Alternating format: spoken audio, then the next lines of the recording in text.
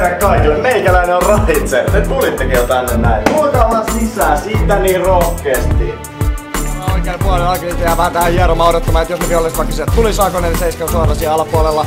Löytyykö yksi tunni menee sinne ja sit lähdetään ryysimään. Ne ei näy yhtään ketään, vaikka koko tiimi pitäisi siellä olla.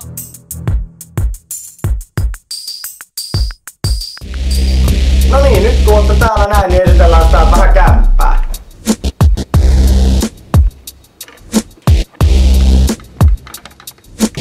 Nyt kun niin esitellään vähän eteistä. Täällä on meikäläisen prätkäkamat roikkumassa. Ka- joka on joka talouden tärkein tavara. Ja prätkäkypärä, turhaa kamaa, kengät, ja tää on meidän oma Eimi, eli mun lemmikki Siili, joka asustelee siellä jossain, se ei ole kovin sosiaalinen, jota luultavasti se ei tule nyt morjestaan, mutta ehkä seuraavalla kerralla. Ja sitten viimeisenä tietenkin tässä on meidän slideshow elukoista, jossa näkyy Foxy, Eimi, Rasmus ja sitten jotain, en mä tiedä mitä, jotain joulukinkkuja.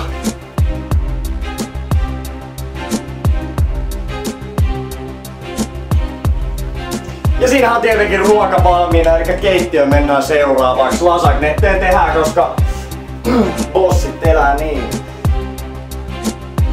Täällä on ihan normi keittiö, meillä on vähän mikroa täällä. Tietenkin Kosmo tulee joka, joka kuukausi, niin homman kuuluukin.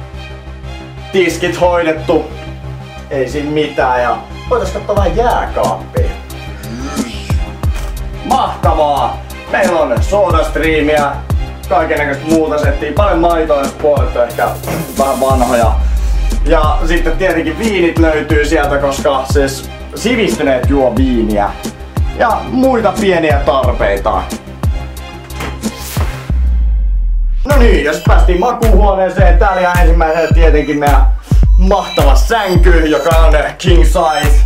Ja sitten sieltä löytyy maailman paras ES-merkki, eli energiajuomamerkki löytyy sieltä lisää naisten lehtiä. Tää on oikeastaan ehkä enemmänkin siitä syystä, että tää on semmonen Minnan valtakunta. Se on normaalisti on tossa on Minnan kone ja Minnan kuulokkeet, Minnan kaikki söpö kukka ja kaikkea muuta vastaavaa. Ja sitten täältä löytyy tämmönen No mitään käry mikä tää on, mutta kyllä se joku varmaan on. Ja juna. Joka kodissa pitää olla juna. Kyllä vain. Ja muuta random kamaa, minä jotain koulukirjaa ja kaikkea mä en niin koska ne on vähän silleen niinku yl. Out of my league niin sanotusti. Ja no, kyllähän tää nyt pitää esitellä. Eli Cosmopolitanin mieskalenteri. Herra kesäkuu.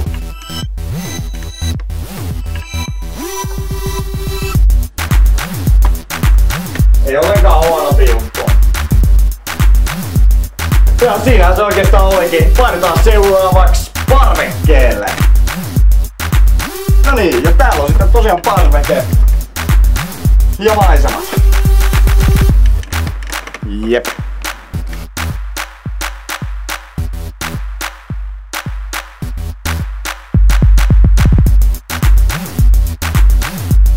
Ja nyt me päästiin sitten siihen parhaimpaan huoneeseen.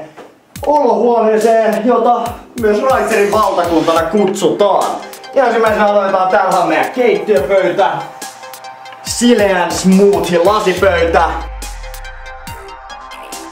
Tietenkin Lumia 800 paketti siinä. iPhonein kamerana pitää olla myös toinen hyvä älypuhelin. Ja ennen nähty myös mun videoissa tämmönen kiva StarCraft-juliste, aivan älyttömän kova. Synttärilahjaksi saatu. Tietenkin lisää moottorikonekympäriä pitää olla. Eli kameraholderia. Ja vappupallo. Mitä on koti ilman vappupalloa? Kattokaa, Nalle Puhja Nasu. Ja se leijuu vielä. Ja tietenkin, koska mä olen erittäin hyvä poikaystävä, niin täällä on mun joululahjaksi ostama taulu Minnalle. Se tykkää Seetroista erittäin paljon. Ja sitten mennään tänne mun kulmaukseen. Ja ensimmäisenä löytyy 42 tuuman LG-televisio. Se on ihan ok, se on ihan ok. Ja kyllä kaukosäädinkin, kyllä on kaukosäädinkin siihen. Ja tietenkin, jotta me saadaan täydellinen tuntuma tähän niin sanottuun videonurkkaukseen, niin ne pitää vähän istahtaa. Täältä löytyy mun tietokone, Siinä on tietenkin Airin Fatboy mikrofoni, kondensaattori mikrofoni. Täältä löytyy kynä. Pitää olla myös aina tietenkin niin kuin, mukana, siis jos tulee jotain kirjoittavaa. Ja siellä on Samsungin S-Phantomi, joka poveraa tätä mun mikrofonia. Ja tietenkin, että se saa ääntä kuulumaan. Ja tietenkin ulkoisena äänikorttina löytyy Alfa sieltä, niin se on ihan kiva pikkulaite, näppärä kaveri. Ja jos pitää videoiden ohella striimatessa sitten tehdä jotain muuta, niin täällä on meidän läppäri. Sieltä löytyy, joka on sitten tietenkin myös linkissä tuohon meidän televisioon, että pystyy siitä samalla vaikka katsoa MTV3. Ja sohva, ootte ehkä nähnyt aiemmin, pystyy pelata erittäin rennosti vähän pelejä, esimerkiksi Dark Soulsia ja ui kun Josi tulee sieltä mukaan FCR-lippis päässä, joka on omalla tavalla aika prestige. Ei voi muuta sanoa. Ja sitten täältähän meiltä tietenkin, tietenkin löytyy konsolivalikoima, joka on nyt vähän piilossa, mutta silleen väliin. Sieltä löytyy MV2 Xbox, joka ehkä on mun veljen, ehkä ei. Gamecube löytyy ja myös Wii. PS3 ei valitettavasti ole, sitä pahoittelen. Sitä ei kovin, kovin syvästi pahoittelemaan. Ja tietenkin Ezio Auditore, meidän kaikkien rakastama Assassin's Creed karakteri, joka tuli Collectors Boxissa. Se on mutta oikeesti aivan äärimmäisen hieno, hieno kaveri.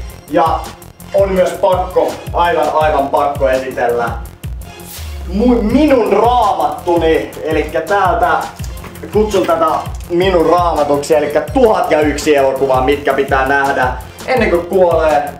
Ja Fordi tietenkin kannessa. Seksikäs mies, seksikäs mies. Mutta ei! Eipä siinä mitään.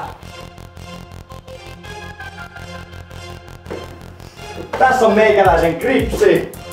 Kaikkea löytyy historiaa, tulevaisuutta ja kaikkea muuta. Mutta tietenkin että mitä? Mun pitää alkaa tekemään video, joten niinku voisitte lähteä menee, voisitte lähteä menee, joten nähdään jätkät seuraavalla kerralla. Meikäläinen oli Raitser, moro!